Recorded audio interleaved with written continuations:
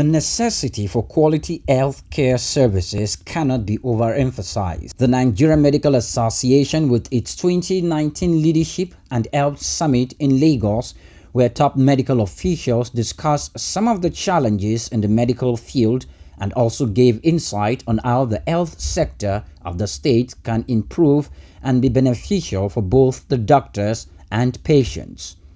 They charged government to create an enabling environment that will encourage private sector investment in the health sector.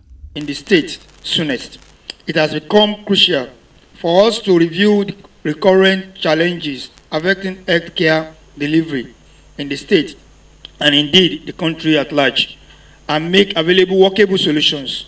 In this regard, it has become pertinent to engage the stakeholders on attitudinal issues and strategy to improve performance and work outputs and issues surrounding industrial disharmony with the aim to provide measures to minimize it. The reality is that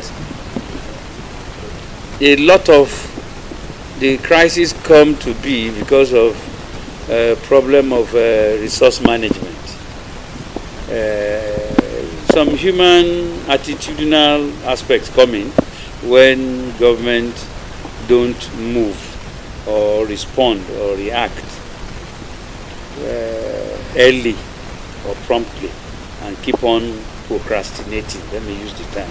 Regarding the lackadaisical attitude of health workers towards patients, the Permanent Secretary, Lagos State Ministry of Health, Titilayo, expressed hope that through the summit, defaulting doctors will be spurred to be more professional and ensure a friendlier and more pleasant relationship with their patients. Every single person in the health profession has taken an Hippocratic oath to be the best they can.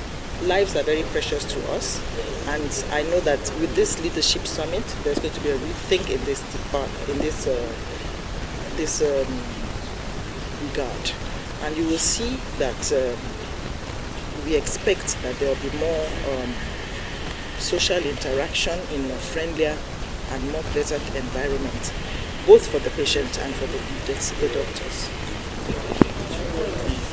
To do with the need to deliberately develop our management skills because leadership responsibility in their sector, like any sector, is about managing resources efficiently to deliver desired results.